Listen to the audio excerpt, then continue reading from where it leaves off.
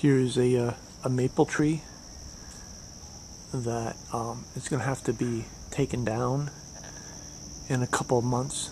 Excuse me, about a month or so. And uh, it's in Irvington, New York. And uh, I've known I've had this tree in my life since my childhood, so I might as well record it for posterity on YouTube. And uh, you can see like um, like dead branches up here. This spring they had leaves there, but then they withered and died.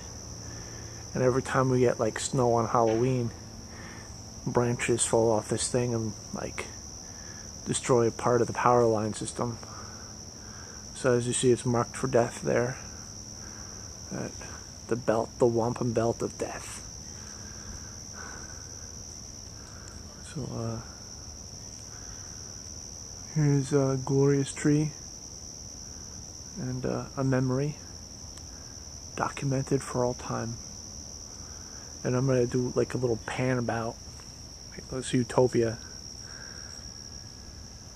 where I live. There's unharvested tomatoes. Don't tell Mary I'm gonna harvest one.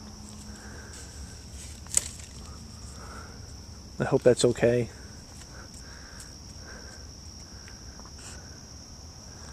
So we have the birdhouses and um, a burgeoning uh,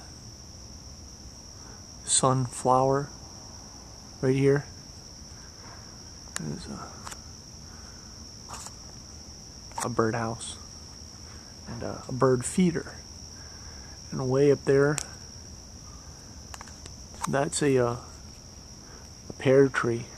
And sometimes the crows freak out harvesting up there. It's a garden and uh, dog dogwood with uh, bird houses in it. Another sunflower. And uh, unripened tomatoes ready for harvest at some point. Black eye Susans. Majestic pine tree.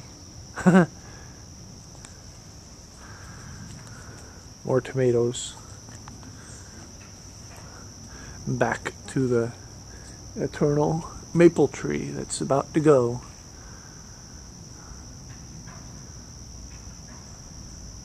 That has been a nature production. Hope you enjoyed it.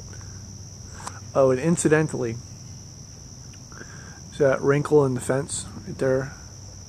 A limb had come down and destroyed the picnic table and the Weber grill and nearly killed my brother Braden. So, I guess it's time to uh, say goodbye to a dying tree. So you get a load of that. See that? That. You imagine the weight that came down on that. Nearly smacked Braden down.